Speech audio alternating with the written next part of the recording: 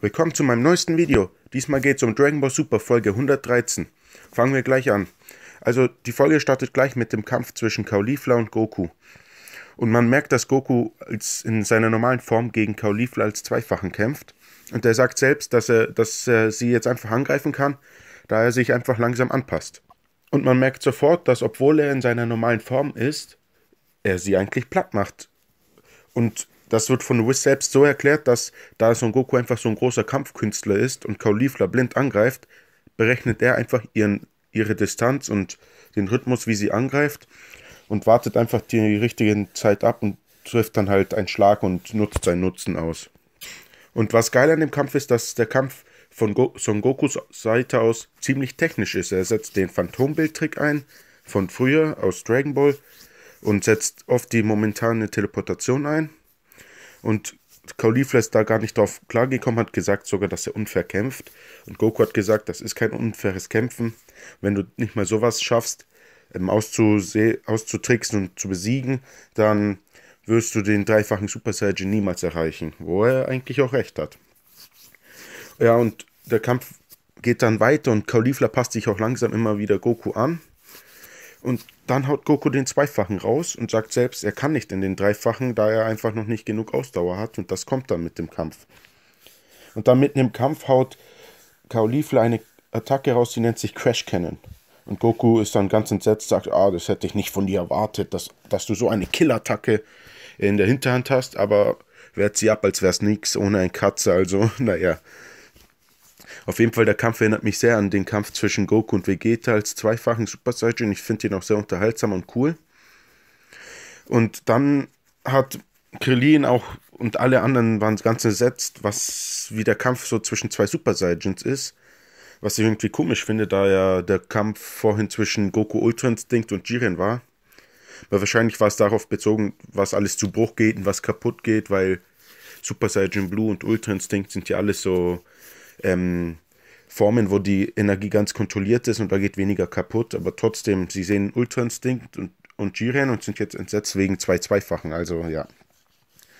Auf jeden Fall fragt dann Son Goku Kale, ob sie mitmachen will, damit sie beide den Dreifachen erreichen, beziehungsweise eine neue Form. Und dann geht auch gleich ein Kampf los, ein Handicap-Match, 2 gegen 1. Und ich finde, dass Caulifla und Kale ein gutes Tag-Team sind. Und obwohl die zu zweit sind, passt Son Goku sich immer mehr und immer mehr wieder beide an. Und Muten Roshi ähm, bemerkt dann sogar, ob das vielleicht der Ultra-Instinkt sein kann, da Goku die ganze Zeit ausweicht und abblockt, obwohl sie beide angreifen. Und Bills war gleich entsetzt, als er das gehört hat. Aber Whis hat selbst gesagt, nein, das ist kein Ultra-Instinkt. Das ist einfach vom Kampf heraus. Son Goku schärft einfach seine Sinne vom Kampf heraus, weil er gegen beide kämpft. Und Bills war gleich erleichtert, als er das gehört hat. Und naja, natürlich will er nicht, dass Son Goku ihn übertrifft. Immerhin ist er der Gott der Z Zerstörung. Und dann hauen Caulifla und Kale beide eine starke Attacke raus auf Goku. Und er wehrt sie ab, indem er kurz in den Dreifachen geht. Nur bleibt er nur ganz kurz in der Form und verwandelt sich zurück, da er selbst sagt, er hat noch gar nicht genug Ausdauer und er hat sich hinreißen lassen zu der Form. Als nächstes geht dann Kale in, die, in, seine, in ihre Berserkerform.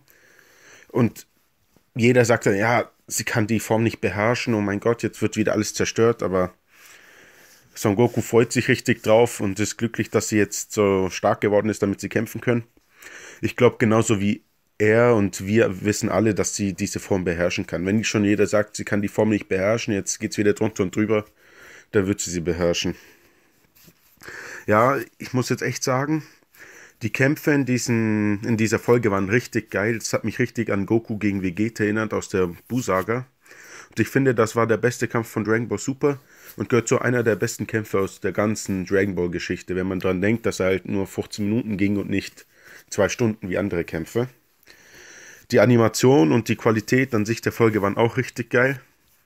Ich habe auch jetzt in die Preview reingeschaut. Wird auch richtig geil. Da werden anscheinend die Spoiler wahr, die wir alle kennen. Ich sage da jetzt nichts, ich mache da auch kein Video dazu. Muss jeder selbst wissen, ob er sich da reinklickt und sich das anschaut. Ich finde an sich auch richtig geil, dass jetzt der dreifache Super Saiyan so gesehen eine eigene Folge kriegt, weil der drei Super, dreifache Super Saiyajin war damals in der Buu-Saga oder in Dragon Ball Z einfach sowas Besonderes, sowas Starkes. Hat nur Goku gekonnt. Und in Dragon Ball Super kam er nicht mal richtig vor, weil er halt immer Ausdauer frisst. Deswegen finde ich es jetzt richtig nice, dass er jetzt hier so gesehen eine eigene Folge oder eigene Folgen bekommt, wo er gezeigt wird und beigebracht wird. Außerdem wird doch die ganze Zeit angemerkt in der Folge, dass halt Kaulifla ein richtiges Potenzial hat, ähnlich, vielleicht nicht ganz wie Gohan, aber sie hat halt ähnlich Potenzial wie Son Gohan und auch Son Goku. Und man hat es ja auch gesehen, dass sie, obwohl sie erst seit kurzem so gesehen trainiert durch Kaba und Goku, ist sie schon auf dem Zweifachen. Ja, auf jeden Fall, ich wünsche euch viel Spaß bei der Episode und bei meinem Video und ciao, haut rein.